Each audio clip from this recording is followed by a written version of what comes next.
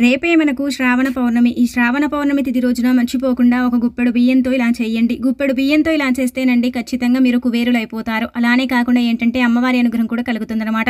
అలాగే కాకుండా శివపార్వతుల యొక్క అనుగ్రహం కూడా మీకు కలగడానికి అవకాశం ఉంటుంది. కాబట్టి సోమవారం పౌర్ణమి తిథి చాలా చాలా శక్తివంతమైనది చాలా పవర్ఫుల్ అనమాట కాబట్టి ఈ రోజున మర్చిపోకుండా గుప్పెడు బియ్యాన్ని తీసేసుకుని ఈ విధంగా చేస్తే చాలు. మీ సంపాదన అంతకంత పెరుగుతుంది. అలానే కాకుండా ఏంటంటే అన్నానికి ఎప్పుడు కూడా లోటు లేకుండా ఉండటానికి అవకాశం ఉంటుందన్నమాట.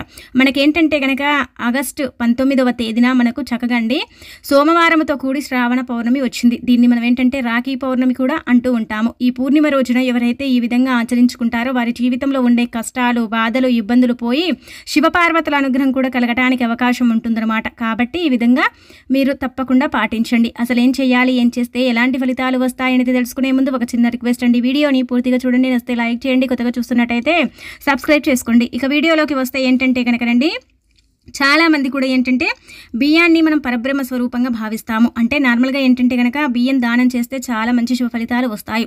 అలానే కాకుండా ఏంటంటే చాలామంది కూడా అన్నం లేక అలమటిస్తూ ఉంటారు. అంటే మనం సంపాదించేది కావచ్చు మనం కష్టపడేదంతా కూడా తిండి కోసమే కదండి. అంటే మన కడుపు కోసం మనం తిండి కోసమే కదా.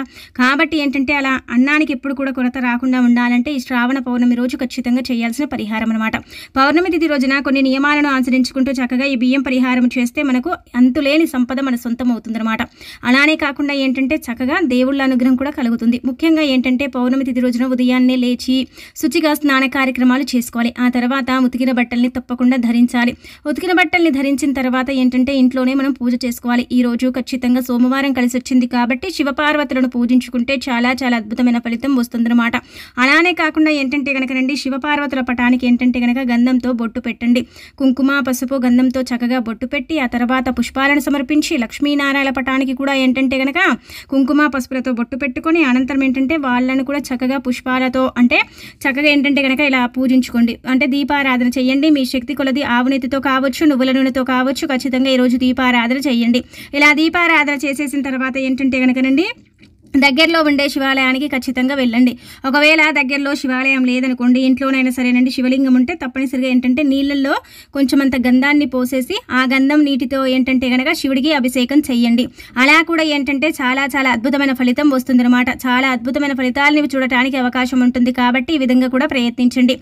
అనంతరం వచ్చేసి ఏంటంటే కనుకనండి ఇంకా బియ్యం పరిహారం అనేది చేసుకోండి. బియ్యం పరిహారం ఎవరైతే ఈ రోజు చేస్తారో వారికైతే జీవితంలో ఉండే కష్టాలన్నీ కూడా తొలగిపోతాయి. అలానే కాకుండా పౌర్ణమి శ్రావణ మాసం అంటే చాలా అద్భుతమైన రోజు కదా. అందరూ కూడా ఏంటంటే కనుకనండి రాఖీ పండుగ ఎప్పుడు వస్తుంది రాఖీ పౌర్ణమి ఎప్పుడు ఉంటుంది అని ఎదురు చూస్తూ ఉంటారు. అలాంటి రాఖీ పౌర్ణమి పరమ పవిత్రమైనది చాలా శక్తివంతమైనది కాబట్టి ఆడవారు అన్నలకు కానీ తమ్ముళ్ళకు కానీ రాఖీ కట్టేటప్పుడు ఖచ్చితంగా ఏంటంటే పసుపు రంగులో ఉండే చీర కావచ్చు డ్రెస్ కావచ్చు లేదంటే ఎరుపు రంగులో ఉండే డ్రెస్ కావచ్చు చీర కావచ్చు ధరించుకోండి. అలానే కాకుండా మీ తమ్ముళ్ళు కానీ అన్నలు కానీ నలుపు రంగులో ఉండే బట్టల్ని ధరించకుండా చూసుకోండి. అలా కనుక వాళ్ళు ఆ బట్టల్ని ధరించి రాఖీ కడితే మాత్రం అశుభం కిందికి వస్తుందన్నమాట అలాంటి బట్టల్ని ధరించకూడదు. ఇక అనంతరం వచ్చేసి ఏంటంటే కనుకనండి ఇంట్లో ఎట్టి పరిస్థితుల్లో కూడా ఈరోజు మాంసాహారాన్ని వండుకోకూడదు. ఎందుకంటే శ్రావణ సోమవారం పరమ పవిత్రమైనది చాలా చాలా శక్తివంతమైనది శివయ్యకి ఎంతో ప్రీతికరమైనది. మనకు కార్తీక మాసం అంటే శివుడికి ఎంత ఇష్టమో శ్రావణ మాసం అంటే కూడా శివుడికి అంతే ఇష్టం. కాబట్టి పౌర్ణమి సోమవారం వచ్చింది కాబట్టి పరమ పవిత్రమైనది చాలా శక్తివంతమైనదిగా మనకు పండితులు చెబుతున్నారు కాబట్టి ఏంటంటే కనుక చక్కగా నియమాలను ఆచరించాలి. ఓం శివాయ అనే నామ అంటే మంత్రాన్ని పఠించాలి. శివలింగానికి అభిషేకం చేయాలి. శివుడిని పూజించుకోవాలి. అలానే శివుడి అంటే శివపార్వతులతో పాటు లక్ష్మీనారాయణ కూడా పూజించుకుంటే చాలా మంచిదన్నమాట. ఇక ఆ తర్వాత వచ్చేసి చాలామంది కూడా అండి తినడానికి తిండి ఉండదు. ప్రతిరోజు కూడా బియ్యం కొంతమంది తెచ్చుకుంటూ ఉంటారు. కొంతమంది ఏంటంటే మూడు నెలలకోసారి ఆరు నెలలకోసారి బియ్యం తెచ్చుకుంటారు. ఒక విషయం గుర్తుపెట్టుకోండి బియ్యం మీరు ఎప్పుడు తెచ్చుకున్నా పర్వాలేదు. కానీ ఈ పౌర్ణమి తిథి రోజున ఏంటంటే ఒక గుప్పెడు బియ్యాన్ని తీసేసుకుని ఈ పనిని చేయండి.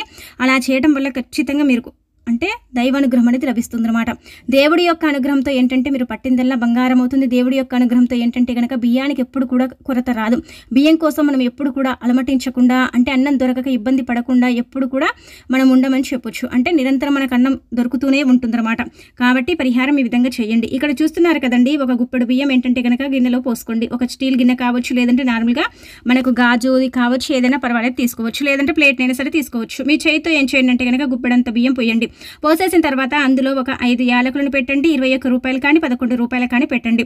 పెట్టిన తర్వాత మీరు పూజ చేసుకుంటారు కదండి అంటే దీపం పెట్టుకొని పూజ చేసుకుంటారు కదా అలాంటప్పుడు ఏంటంటే కనుక చక్కగా దేవుడి దగ్గర ఈ యొక్క మనం పెట్టుకున్న గిన్నెని పెట్టండి. గుర్తు పెట్టుకోండి ఇలా మనము అంటే యాలకులు కావచ్చు డబ్బు కావచ్చు మనం పెట్టి అమ్మవారి పటం ముందు కావచ్చు లేదంటే శివపార్వతుల పట ముందు కావచ్చు పెట్టుకోవడం వల్ల ఏంటంటే కనుక ఆ బియ్యం ఎప్పుడు కూడండి నిండుకోకుండా ఇంట్లో చక్కగా ఉండటానికి అవకాశం ఉంటుంది. అలానే కాకుండా ఏంటంటే కనుక మనం పెట్టిన డబ్బు కూడండి డబ్బు లక్ష్మీదేవి కదా యాలకులు కూడా అమ్మవారికి చాలా ఇష్టము. బియ్యము చాలా చాలా పవిత్రమైనవి చాలా శక్తివంతమైనవి. అలానే కాకుండా ఏంటంటే మానవుడికి అన్నం దొరకకపోతే మానవ జీవితమే ఇంకా వేస్ట్ అయిపోతుంది కదా.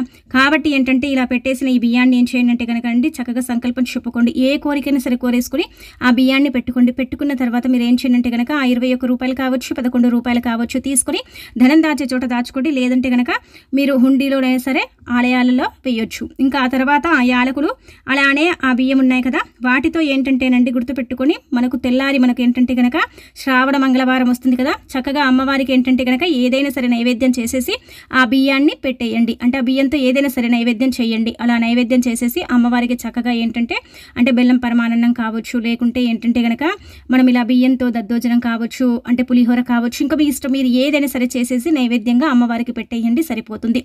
ఇలా కనుక ఈ పౌర్ణమి రోజు ఈ విధంగా ఆచరిస్తే అండి తరతరాలు మనం తిన్నా కానీ కూర్చొని తరగని ఆస్తి వస్తుందన్నమాట. తిండికి మాత్రం ఎలాంటి కొరత అనేది ఉండదండి.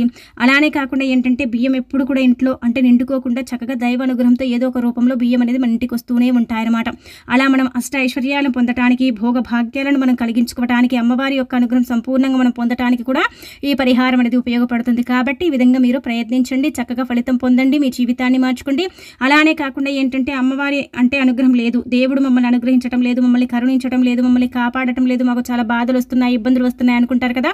అలాంటి వాళ్ళకు తప్పకుండా ఏంటంటే ఈరోజు మంచి జరుగుతుందన్నమాట.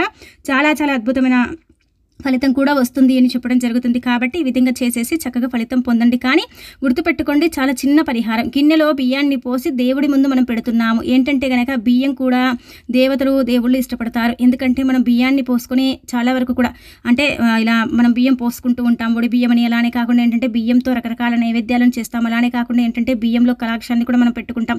అలానే కాకుండా ఏంటంటే కనుకండి బియ్యంతో రకరకాలుగా అంటే మనము పరిహారాలు కూడా చేస్తాం కదా. బియ్యం అనేవి చాలా వరకు కూడా దేవతలకు దేవుళ్ళకు ఇష్టమైనవండి కాకపోతే ఏంటంటే కనుక మీరు అంటే గుర్తు పెట్టుకోండి ఎప్పుడు కూడా అన్నాన్ని వేస్ట్ చేయకండి. అలానే కాకుండా ఏంటంటే ఈరోజు ఖచ్చితంగా మీరు ఏం చేయండి కనుక ఒక కిలో బియ్యం కానీ లేదంటే ఒక అర్ధ కిలో బియ్యం కానీ లేదంటే కనుక ఒక చిన్న రెండు గుప్పెట్ల బియ్యాన్ని కానీ దానం చేయండి. అలా కూడా దానం చేస్తే చాలా మంచిది. ముఖ్యంగా పౌర్ణమి తిథి రోజున చేస్తే మాత్రం అద్భుతమైన ఫలితం వస్తుందన్నమాట. వారి జీవితం మారిపోతుంది. వారికి అదృష్టము ఐశ్వర్యము కలుగుతుంది. ఎనలేని సంపద వారి సొంతం అవుతుంది వారి ఇబ్బందులన్నీ కూడా తొలగిపోతాయి. వారికి ఉండే అనేక రకాల సమస్యలు అంటే తొలగిపోవటానికి అవకాశం ఉంటుందన్నమాట. అలానే కాకుండా ఏంటంటే ఎంత లేని వారైనా సరే రెండు గుప్పెట్ల బియ్యం ఎవరికైనా సరే భిక్షం తీసుకునే వారు పౌర్ణమి రోజున మీ ఇంటికి వస్తే తప్పకుండా దానం చేయాలని కూడా మనకు పండితులు చెప్పడం జరుగుతుంది. కాబట్టి ఈ విధంగా ఆచరించండి. పూర్వకాలంలో మన పూర్వీకులు ఏంటంటే కనుకనండి పంట చేతికి రాగానే అంటే పంట ఇంటికి రాగానే కు- ఒక బస్తెడు బియ్యాన్ని ఏంటంటే కనుక గుళ్ళకు దానం చేసేవారు. ఇప్పుడు అలాంటి సిచ్యువేషన్ లేదు కదా. ఎవరి ఇంటికి కూడా పంటలు రావు. పంట పండించడం కొంచెం తక్కువైపోయింది. పండించేవారు పండిస్తున్నారు కానీ చాలామంది కూడా పంటని పండించడం అలానే కాకుండా దానం చేయడం ఇలాంటివి చెయ్యరు కదా. కాబట్టి ఏంటంటే ఈ కార్తీక పౌ అంటే మనకు నార్మల్గా అండి శ్రావణ మాసంలో వచ్చే పౌర్ణమి చాలా చాలా శక్తివంతమైనది. కార్తీక పౌర్ణమికి ఎంత శక్తి ఉంటుందో దాని అంత శక్తి ఈ పౌర్ణమికి ఉంటుంది. కాబట్టి ఈ పౌర్ణమి తిది రోజున కంచిపోకుండా అంటే రెండు గుప్పెట్ల బియ్యాన్ని దానం చేయాలన్నమాట. ఇలా చేసుకుంటే చాలా మంచిది. ఒకవేళ మీరు నైవేద్యం చేసుకోలేరు లేకపోతే నైవేద్యం చేసేంత వీలు మాకైతే ఉండదండి అనుకునే వారు ఏంటంటే కనుకనండి ఆ బియ్యాన్ని ఏంటంటే మీరు అంటే బియ్యం డబ్బాలో కానీ బియ్యం బస్తాలో కానీ బియ్యాన్ని పెట్టుకుంటారు కదా అదే డబ్బాలో కానీ లేదంటే అదే బియ్యం బస్తాలో కానీ ఆ బియ్యాన్ని పోసేసి పెట్టుకోండి. అలా కూడా ఏంటంటే కనుక మీకు చాలా మంచి రిజల్ట్ వస్తుంది ఆ బియ్యాన్ని మనం తింటాం కాబట్టి మనకు అనారోగ్య సమస్యలని రావు. ఇంకా మనకి ఏంటంటే కనుక బియ్యం ఎప్పుడు కూడా నిండుకోకుండా ఇంకా అలాగే ఉంటూ ఉంటాయన్నమాట. చాలా చాలా మంచి రిజల్ట్ వస్తుంది కాబట్టి ఈ విధంగా ఏంటంటే ఆచరించండి. ఈ బియ్యం పరిహారం అయితే ఖచ్చితంగా చేయండి.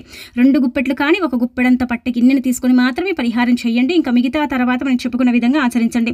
మరి యాలకులు ఏం చేయాలండి అంటే కనుక ఏదైనా తీపి పదార్థం చేస్తే యాలకులు అందులో వేసుకోండి. అలానే కాకుండా ఏంటంటే మనం తీపి పదార్థాన్ని చేసి పెట్టడం వల్ల అమ్మవారి అనుగ్రహం కలుగుతుంది. తీపి అంటే చాలా ఇష్టం కదా లక్ష్మీదేవికి. కాబట్టి ఈ విధంగా ఆచరించుకోవచ్చు అనమాట ఇది చాలా చిన్న పరిహారం అండి. ఇది పురాణ గ్రంథంలో చెప్పబడ్డ పరిహారం. చాలా శక్తివంతమైన పరిహారంగా పరిగణిస్తుంది అనమాట పౌర్ణమి అనేది అంటే సంవత్సరానికి ఒకసారి వస్తుంది. ముఖ్యంగా ఈ పౌర్ణమి శక్తితో కూడుకొని వస్తుంది. కాబట్టి ఈ రోజు చేసే పరిహారం కావచ్చు పని కావచ్చు తప్పకుండా ఫలితాలను కూడా ఇస్తుందని చెప్పొచ్చు. ఇలా మీరు దానం చేస్తే ఏంటంటే కనుక భర్త సంపాదన విపరీతంగా పెరుగుతుంది. అలానే కాకుండా ఏ స్త్రీ అయితే భర్తకు సంపాదన సరిగ్గా లేదు ఎంత సంపాదించిన కానీ రూపాయి కూడా మిగలదు మా భర్త అసలు సంపాదించడే సంపాదించడు అని మనం చాడీలు చెప్పుకుంటూ ఉంటాం మనం తిట్టుకుంటూ ఉంటాం కదండి. అలా భర్త సంపాదన పెరగాలని మీ మనసులో సంకల్పం చెప్పుకొని రెండు గుప్పెట్ల బియ్యం ఎవరికైనా సరే మీ ఇంటికి వచ్చిన వారికి కావచ్చు లేదంటే మీరు బయటికి వెళ్ళేటప్పుడు ఎవరికైనా కావచ్చు బియ్యం అనేది దానం చేయండి. పౌర్ణమి తిథికి బియ్యాన్ని దానం చేస్తే చాలా చాలా అద్భుతమైన ఫలితం అయితే వస్తుందండి. అలానే కాకుండా ఏంటంటే మీ భర్త చక్కటి సంపాదనతో మంచి యోగంతో నిండుగా అంటే నూరెళ్ళు హాయిగా ఉంటాడనమాట. అంటే ఇబ్బంది అనేది రాదనమాట. అలా భర్త పేరు తీసుకొని ఎవరైతే ఏ స్త్రీ అయితే ఇలా చేస్తుందో ఆ స్త్రీకి తప్పకుండా మంచి జరుగుతుందని కూడా మనకు పురాణ గ్రంథం చెబుతుందనమాట. కాబట్టి ఈ విధంగా ఆచరించుకోండి. లేదంటే కనుక ప్రతిరోజు కూడా మీరు అన్నం వండేటప్పుడు గిన్నెలో బియ్యాన్ని పోసేసిన తర్వాత ఆ గిన్నెలో నుంచి గుప్పెడు బియ్యాన్ని తీసేసి ఒక డబ్బాలో కానీ ఒక కవర్లో కానీ నెల రోజులు గుప్పెడన్ని బియ్యాన్ని పోగు చేయండి అలా పోగు చేసిన బియ్యాన్ని కూడా ఏంటంటే పేదవారికి దానం చేయొచ్చు లేదంటే గుళ్ళో ప్రసాదంగా పులిహోర చేసైనా సరే నలుగురికి పంచవచ్చు. అలా కూడా అద్భుతమైన ఫలితాలు వస్తాయి. అలా కూడా మనకు మంచి జరగటానికి అవకాశం ఉంటుంది. దేవుడి అనుగ్రహం అనేది సంపూర్ణంగా కలిగి మన జీవితమే మారిపోయి మనకు చక్కగా